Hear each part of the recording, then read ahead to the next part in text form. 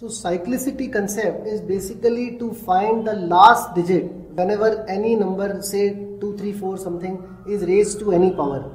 So let us take the simple question find the last digit when 2 raised to 79 is a number 2, 2 raised to the power 79 what will be the last digit.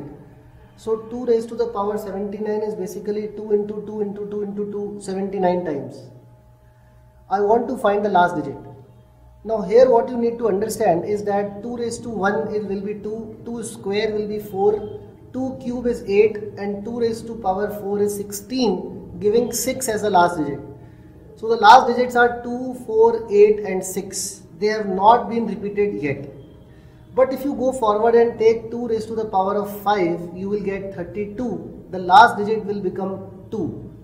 2 raised to power 6 64 the last digit is 4 so now as you can see the pattern, the last digit has started to repeat 2, 4, 8, 6, 2, 4, 8, 6, 2, 4, 8, 6 and so on. So we define the cyclicity of 2 is nothing but 4 because after every 4 power the last digit keeps on repeating. So that is a concept of cyclicity.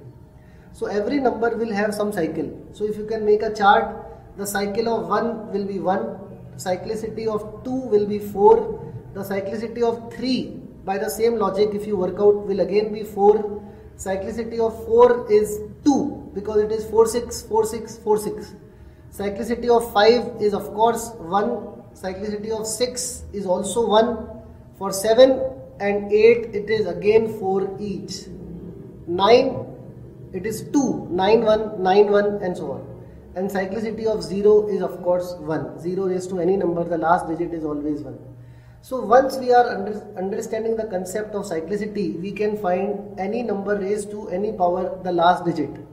So for example the question can be find the last digit when 3 is raised to 43 so again we know the cyclicity of 3 is 4 so we divide 43 by 4 and we get the remainder as 3 and therefore we will say 3 cube 27 is the last digit or therefore 7 is the answer.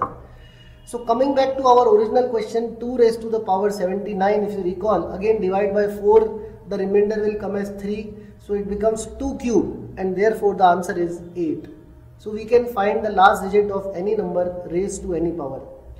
Okay let us take one small concept here 2 raised to power 40 what is the last digit? So if we apply our rule the remainder when 40 is divided by 4 the remainder is 0 so if we do 2 raised to the power 0, we will get bad result 1 which is absurd. So the concept says if the remainder is 0, we always raise the base 2 to the cyclicity of the base which is 4. So the answer will be 2 to the power of 4 which is 6. So this is the concept of cyclicity.